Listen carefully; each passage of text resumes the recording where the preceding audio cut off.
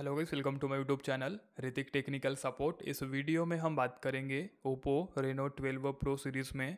आप call recording कैसे करेंगे? साथ ही साथ जो आप कॉल रिकॉर्डिंग करेंगे, उसमें अगर आप चाहते कि अनाउंसमेंट ना जाए the call will be record इस टाइप का तो ये कैसे करेंगे? दोनों ही टॉपिक के ऊपर हम बात करेंगे। ठीक है?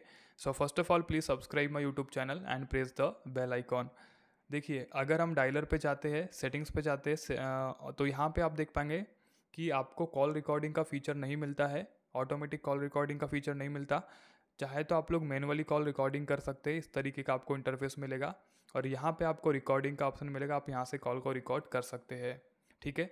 बट यहाँ पे एक दिक्कत ये है कि अगर आप यहाँ से कॉल को रिकॉर्ड करेंगे तो जो आपका अनाउंसमेंट रहता है, वो यहाँ पे आवाज़ आता है, ठीक है?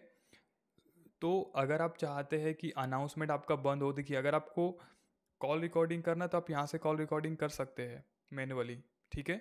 बट अगर आप चाहते कि कॉल रिकॉर्डिंग तो हो, बट आपका अनाउंसमेंट भी ना जाए तो उसके लिए आपको कस्टम तरीका यूज़ करना होगा। आपको मोबाइल में प्ले स्टोर ओपन करना है देन आपको इस एप्लीकेशन को यूज़ करना है, जिसका लिंक हम आपको डिस्क्रिप्शन में दे देंगे। सिंपल आपको इसको इंस्टॉल करना है। इंस्टॉल करने के बाद ये आपके मोबाइल में ऑटोमेटिक कॉल रिकॉर्डिंग करेगा, और साथ ही साथ जो आपका अनाउंसमेंट जाता था the call will be recorded इस टाइप का तो यहाँ पे आपको कोई भी अनाउंसमेंट देखने को नहीं मिलेगा, ठीक है?